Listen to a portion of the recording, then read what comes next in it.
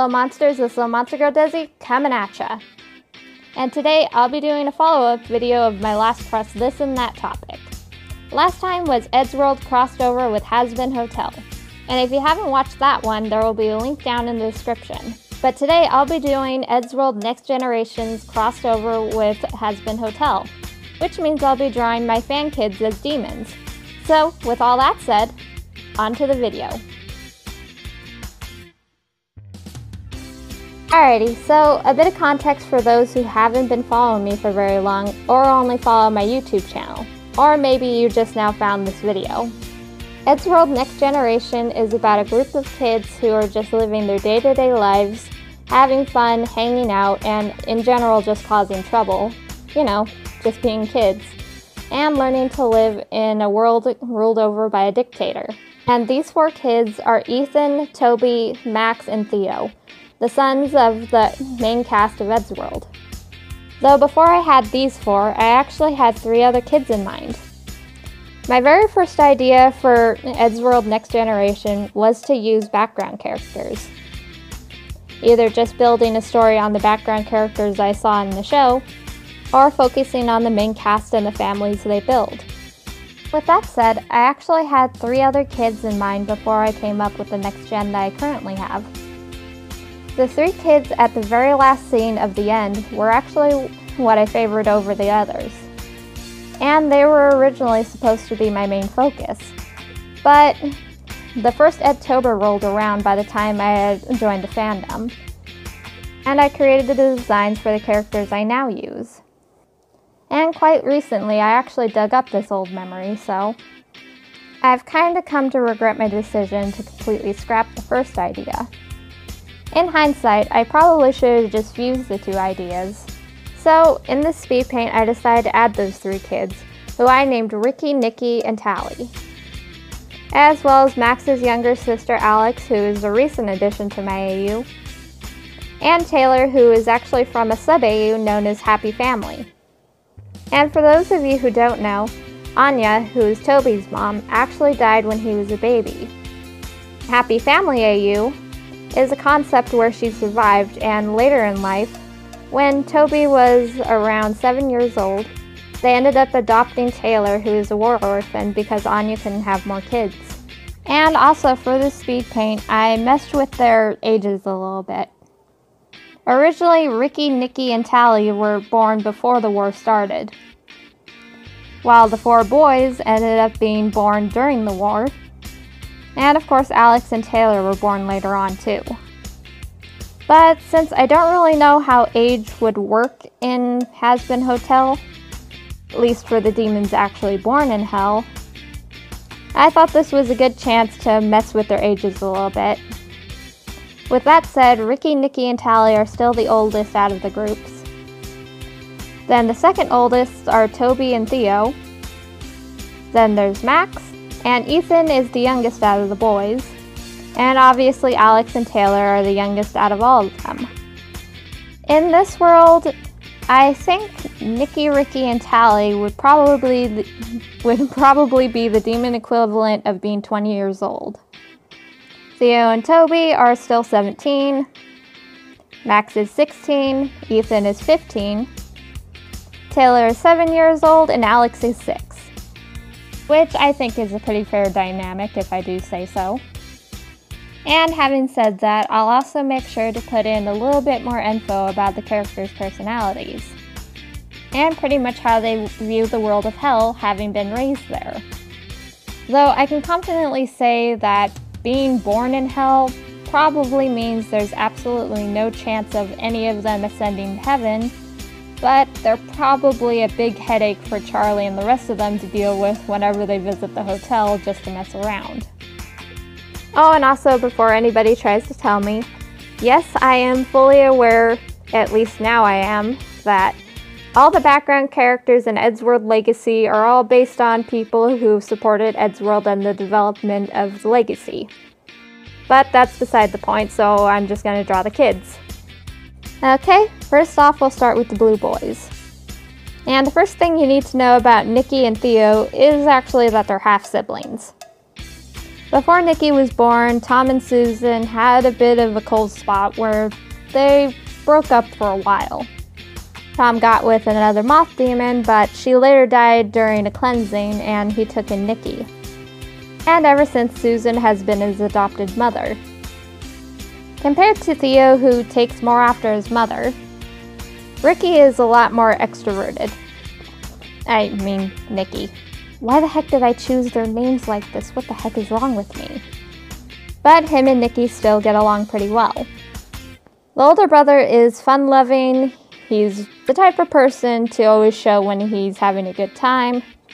And compared to Theo, who's a bit more standoffish, he's seen as the more confident brother. But in spite of this, the two do get along pretty well. They share a lot of the same interests, like music. So there's never really been a time when they couldn't talk to each other about their interests. And because Nikki's so used to it, he can read his brother pretty well. Design-wise, I wanted to give him a more orangey color palette. Since he is technically the opposite of his little brother, I thought that would be a good idea to show the contrast between the two. Especially since his mother had two regular eyes, so instead of a blacked out eye, I gave him one big eye with an X-shaped pupil, similar to how Theo and Tom's wings are.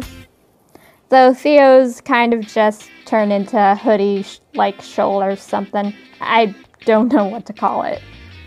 I didn't have a lot of trouble working in some of Tom's colors into Ricky's design. I said Ricky instead of Nikki again. Good lord. And actually, it was a lot of fun to draw the two siblings with such a sharp contrast between the two. And of course, adding different accent colors helped tie in their designs together just to show that they're related, even if it's not super obvious.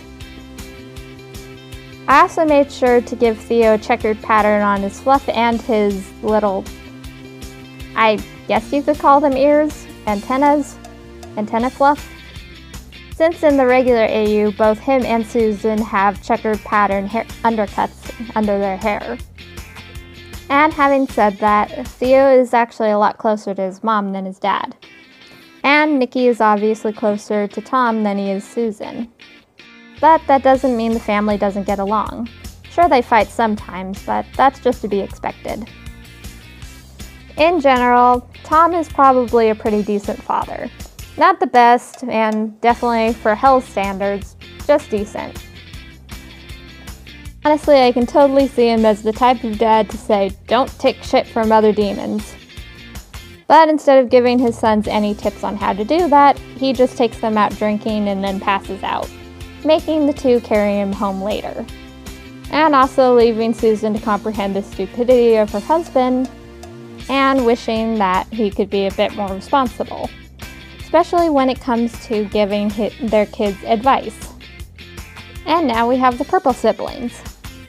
And while I did end up coloring Alex first because I was really excited to get to her color palette, I'm going to start with Ricky.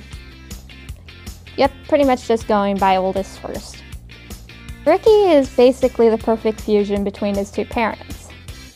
He has an extremely tall build like his father, but has a more rounder face like his mother. But instead of giving him one eye, I decided to give him three eyes. And instead of making his wings a cape like his father, I decided just to attach them to his arms, with a poncho-like hood to go over them. Personality-wise, Ricky is very bright and colorful. He just has a bigger-than-life personality. He's a very sweet person, and he absolutely adores his family. In fact, if you say anything bad about any of them, he will absolutely wreck you. He's especially very, very protective of his mother and his little sister. So if you do anything to make either of them cry, he will find a way to erase you from existence because you deserve it for making them cry. And despite his often goofy and childlike personality, all of this makes Ricky take his big brother role very seriously. Like, it's pretty much a switch between goofy and serious. Next is the middle child. Obviously, appearance wise, Max takes after his dad. But his more feminine appearance is due to the fact that he's transgender, but is more of a femboy. He doesn't quite have a high and mighty attitude, but he does still have a lot of confidence in his appearance. Design wise, I decided to give him tiny wings as well as a red halo to match his little sisters. The two weren't born with their halos, they just kind of appeared one day. And nobody really bothers to question why they have them, just because, in general, a fallen angel having kids with a demon is kind of a weird concept. And in Max's original design, he has heterochromia. I think that's what it's called. Where his eyes are two different colors. And compared to his older brother, Max isn't a very strong demon. And pretty much likes avoiding fights when he can. That being said, that's a complete contrast to his little sister, and out of all the siblings, Alex looks the absolute most like her mother, other than having her father's ears and eye color. And believe me when I say that Alex is a little spitfire. In fact, when she grows up, she wants to be one of the four horsemen of the apocalypse so she can get back at the angels who made mommy cry and put them in timeout forever. Yeah, she really doesn't like heaven or angels doubt being as young as she is, she probably doesn't really grasp the concept of what's going on. All she knows is that the angels hurt mommy, and she can't watch the fireworks on Extermination Day because the angels are still sticking around for a while. For the one night a year she gets to watch pretty fireworks, she can't because she's got to go to bed early on that day. So, yeah, screw heaven. And though being only six years old, she is the absolute strongest out of her siblings. But considering how young she is, she doesn't really know how to use her powers yet, so it's still in the development phase. Matt and Amanda are probably super protective of their kids, and pretty much make sure that none of them travel the city alone. They gotta keep their babies away from the baddies that wanna hurt them. So, yeah, Matt gets very aggro if anybody approaches his kids, let alone his cute little wife. And yeah, pretty much. And next up, we have the green siblings, or should I say the green kitties. I actually had a lot more fun with these two than I did with everybody else. While their coloring wasn't hard to get, I just really enjoy drawing cats. And these two are a pretty good mix between their parents, at least personality wise. And it was actually a lot of fun to mix up the two color palettes too. While I gave Ethan brown fur like his dad, I decided to give Tally purple fur like her mom, but to kind of mess with the shading a bit. And despite having her mom's body type, I decided to give her the manticore bits, while keeping the whole punk look for herself.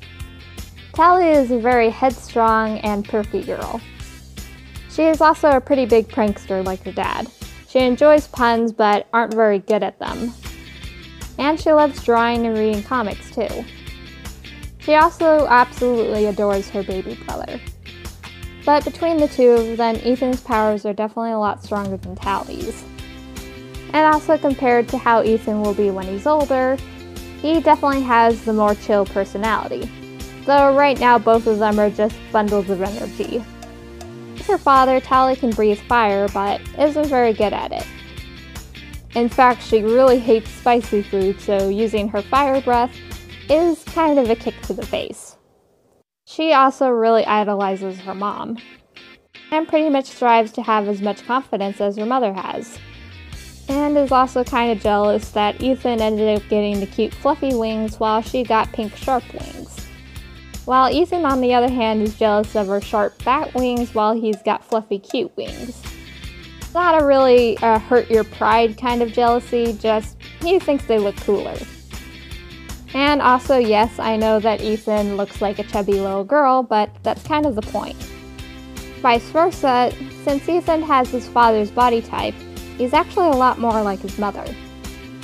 And while it's already pretty obvious that the kids don't dress completely like their parents, especially considering the time periods and outfits that their parents wear. Ethan is currently a more dress for comfort kind of kid, and isn't really one for packing on the jewelry, but will still wear it if his mother asks him to. Again, like his father, he's a big jokester, and he likes to cause a lot of trouble for demons who are just passing by. While Ethan didn't inherit his father's fire breath, he still is very physically strong, which is something he inherited from both of his parents. So he likes literally doing the whole comedic cartoon thing of dropping anvils on unsuspecting demons. This kid is kinda savage. Though in the regular AU, it would be water balloons because dropping an anvil on a person would probably kill them if it hit them. No, it would most definitely kill them. But he doesn't have to worry about that in hell, I guess. oh god, this is terrible. But that being said, Ethan does have a very sweet personality towards his friends and really loves them. Since he's been the youngest for a while, it's pretty safe to say that he's been doted on quite a bit.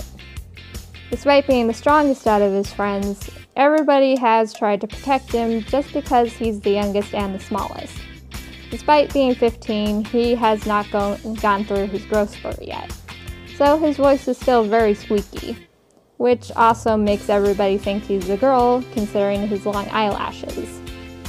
But trust me, he definitely inherited his dad's height. He gonna be a big boy. And it looks like once again we're ending on the color red. I think this is the third time, but oh well. I actually had a lot of fun with this one too because uh, if there's one thing I really like drawing Toby with is whenever he's a horned animal. I always like drawing him with either one horn or with one of his horns being broken. One thing I saw with a lot of the fan kids is that they would either have the horns like Tord or black eyes like Tom. Or sometimes both.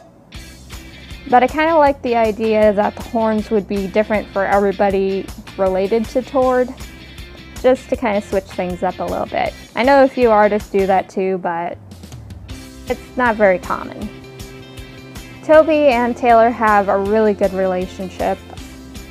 Toby is the big overprotective brother because his sister is so much younger than he is. So I think he's like borderline helicopter parent. And just like Alex, Taylor being so young probably doesn't really realize the whole situation of hell. Sure, she's used to it and she knows that there are bad things, but she doesn't really know how to like take care of herself yet. So her parents and Toby are probably like always really tense whenever they go out with her. Though Anya and Tord were probably that way with Toby when he was a baby too. Heck, I don't think Tord would have let Anya leave the house while pregnant with both of them. That being said, when it came down to his design, in my head I was kind of torn between whether I'd give him a fluffy tail or an imp tail, because overall Toby does look a lot more like Tord in the regular AU, but he has his mother's personality.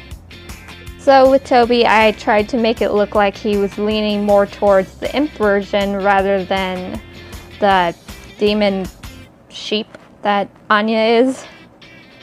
But I still made sure to give him the split hair colors and the fluff on this, at least the spine of the tail. And one thing I didn't mention in Anya's part is that her tail can actually split open into a giant pair of jaws which is something that actually goes over to Taylor rather than Toby. And in another AU for Toby, he ends up being a clone between his mother and father, ends up having patched skin, which I instead gave to Taylor since Toby was already kind of almost overly designed as is with the color mismatch. When it came down to doing their eyes, I gave Toby the mismatched eyes like his dad, and just gave Taylor two X's in her eyes to kind of mirror both towards one eye and Anya's hard eyes.